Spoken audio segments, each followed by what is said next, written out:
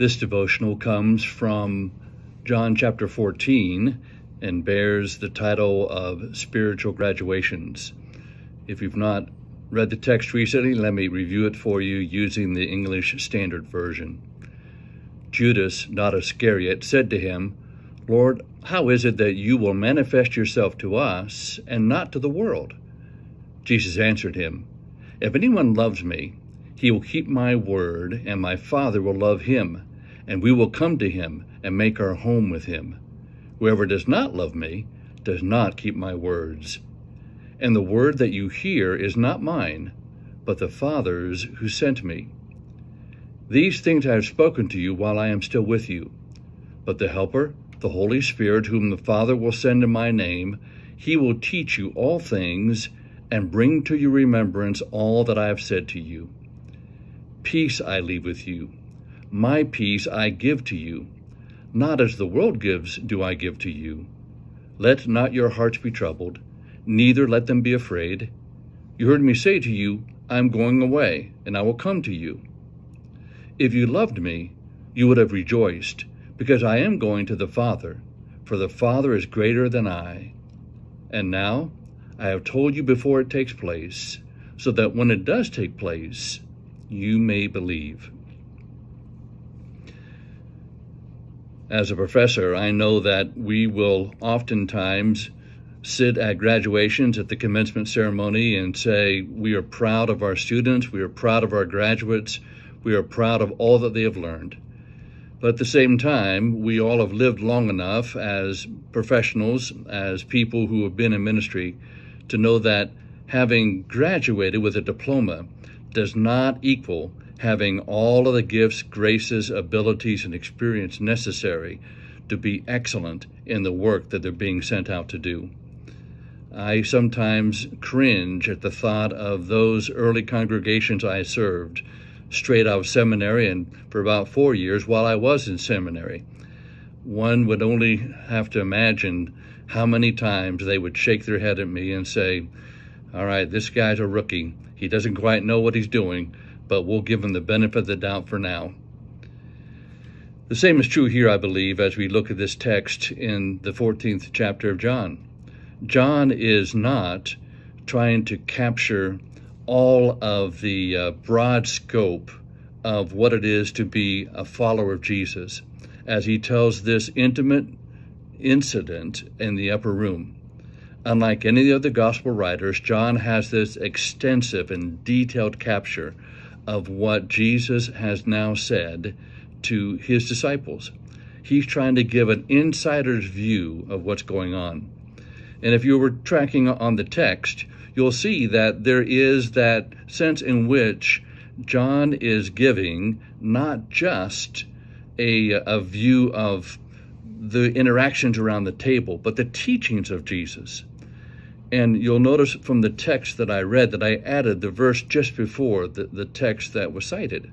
That is, this question from Judas, not Iscariot, not the bad Judas, so to speak, but the good Judas, that says, Lord, why are you manifesting yourself to us, but not to the world?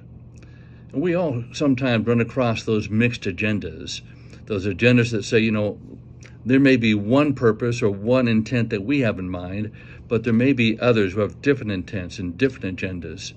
And for Judas, at least, it was, Isn't it time, Lord? Isn't it time for you to finally conquer these Romans? Isn't it time to finally bring out those things which God had promised, this promised Messiah now delivering us from our captivity? But this agenda was not Christ's agenda.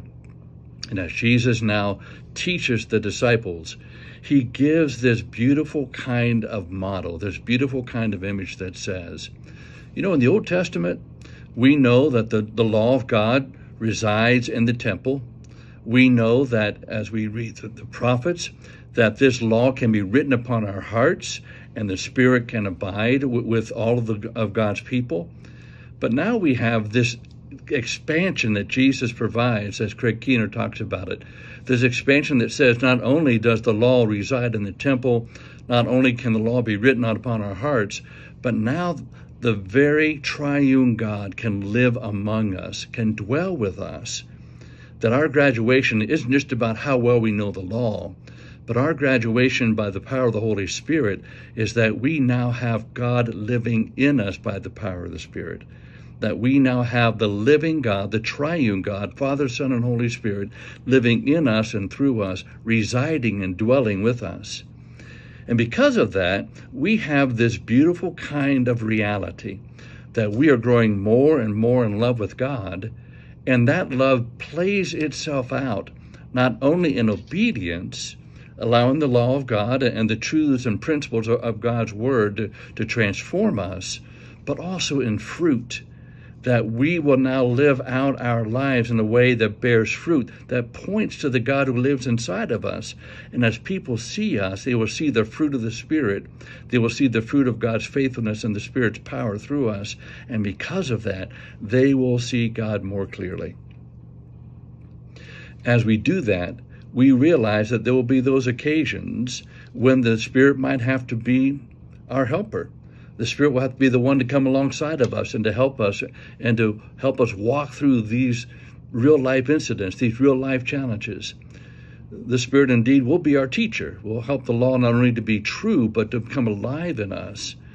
And the Spirit will be that one who, because He is present in us and is helping us to be all that, that we need to be, the Spirit will be the one to remind us to tap us on the shoulder, to whisper in our ear, to say, Now you remember what you learned? You remember that experience I walked with you through? That's still true today. That's still how you can live your life today, in spite of all the distractions. And we know that in a troubled and uh, fearful world that we live in, it is easy to be distracted. And that's why Jesus said, I'm giving my peace to you. Don't be troubled. Don't be afraid my peace will reside in you, and that peace will be more than enough.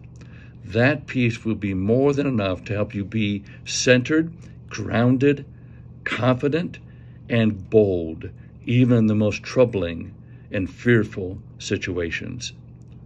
As the Spirit does that work in us, as the triune God resides in us, then there is a powerful kind of witness that God now does in and through us beyond our own ability, beyond our own capacity, because we know the one who has gone now to be with the Father, because we now have this perspective 2,000 years later. The one who has died on the cross is risen again and is now with the, at the Father's right hand. That one will never leave us, never forsake us. And as we mature in our faith, as we become more and more like Christ, as Christ living in us as a, as part of the triune God, that, that second person of the Trinity by the power of the Holy Spirit, then we are transformed from glory to glory, and our lives do make a difference to the witness and power of God's faithfulness in every person who says yes to Him. May that same Spirit witness in you and through you to glorify our God through His Son Jesus Christ by the power of the Holy Spirit. Amen.